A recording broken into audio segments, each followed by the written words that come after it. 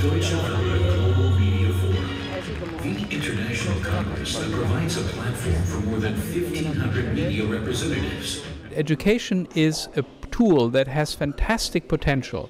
If poor people understand better their environment, how to function in it, how to also take charge politically, how to weigh in uh, in their own countries on political decision making, then that could be a great source of emancipatory power. From new technologies, most obviously weapons of mass destruction, and they also come from environmental change, most obviously from global warming. What we need to do is make the basic global rules more poor friendly, more protective of the poor, and first and foremost stop that invariable slide towards greater inequality and in that way make the poor more able to participate in global economic growth and more able to fend for themselves.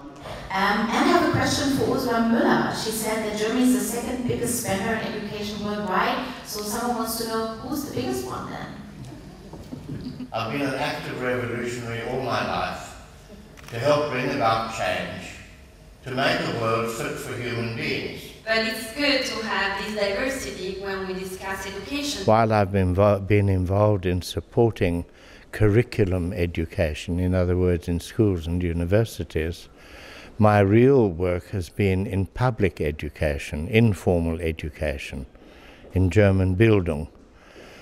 And that has been of a political kind and a social kind, against racism, against prejudice, against narrow mindedness, for tolerance, for understanding and living together.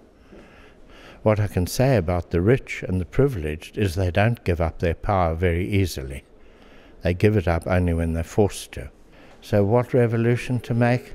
Each country is different in its own situation, but we do need to take the power away from these uh, elites let the people govern. That's what called democracy. Also nach fünf Jahren ist das fünfte Global Media Forum, haben wir die Teilnehmerzahl verdoppelt. Das zeigt, dass die Form, eine Plattform zu bieten, wo Journalisten, Medienschaffende, Politik, Wirtschaft, Entwicklungszusammenarbeit miteinander diskutiert, der richtige Weg ist. Scheint auch so zu sein, dass diese Form des Miteinander-Diskutierens, des Miteinander-Erfahrungsaustausch äh, zu tätigen, aber auch Netzwerken zu machen, die richtige ist. Und ich bin ganz sicher, dass das äh, Medienforum am Rhein letzten Endes weltweit bereits einen Namen hat.